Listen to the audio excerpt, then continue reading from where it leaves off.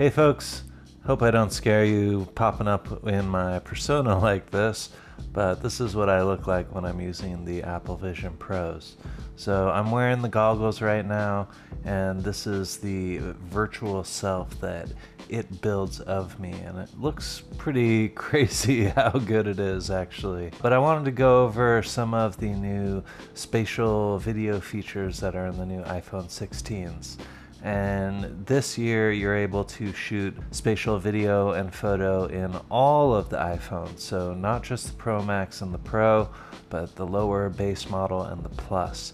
So, I was wondering is there any difference between the quality of the spatial videos in the Pro Max versus the cheaper 16 base model. But first I wanted to show you some of the new features that are inside the spatial section of the Apple camera and we can check those out because there's some new stuff.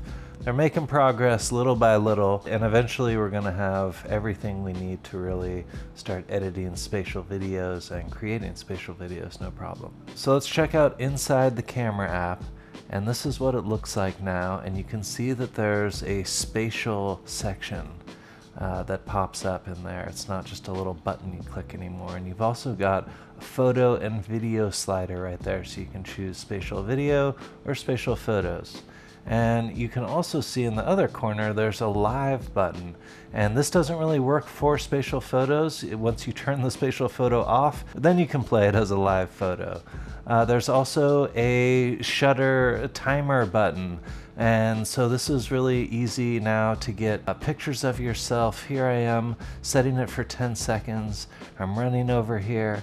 I turn around, the cameras are there, you can see the little countdown still happening, and boom, this is what we get. And then another one that I tried out.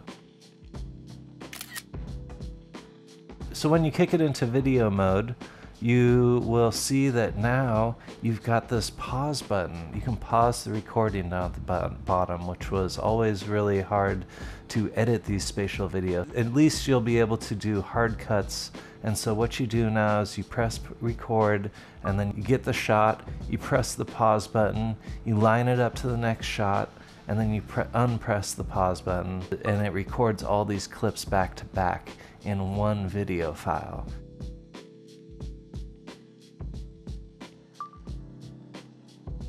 And when you go to play it back now, you can see this is just one file. It's playing all the different clips and it's in spatial mode up there. You can check that out. Also in the editing section, this is where you're gonna find your spatial audio mix. You can do a bunch of different ones, standard, in-frame, studio, cinematic. This will all kind of change the way that it sounds when you're in immersive mode. But to tell you the truth, I have not noticed much of a difference.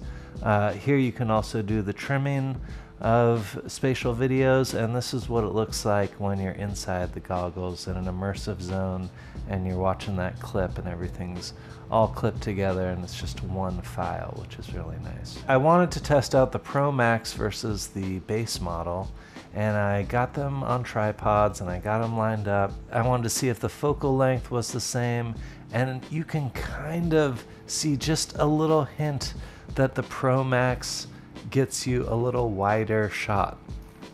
It is very similar though. It is very hard to even tell. I have to get one of these clips where my face is close to the camera and you can see that the Pro Max is a little smaller. It gives you more area that it's filming, just slightly.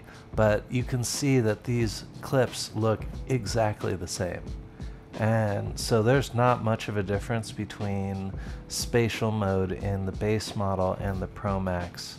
Uh, which was surprising because the Pro Max uh, came with a 48 megapixel wide angle camera this year, and so I was hoping that that would help with the quality. But the quality looks good no matter what. These spatial videos look pretty crisp, and when you're inside the goggles, and this, so this is what it looks like watching these clips inside the goggles in an immersive zone. I'm at the beach and you can just see these colors spilling off when I walk close to the edge of the frame it really spills out it's pretty cool with these balloons on the side of the frame it gives this really nice effect. So this was the base model iPhone 16.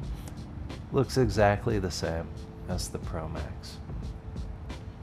So that's good news if you were wondering if you could get away with shooting spatial video on the cheaper, inexpensive iPhone 16. Here's a good example where you can kind of see on the base model, I'm just a little bigger. And on the Pro Max, I'm, I'm just a, a hair smaller. So you do get a little bit more area with the Pro Max version, but really nothing noticeable. If you're gonna get the Pro Max, get it for taking photos and videos outside of spatial as well.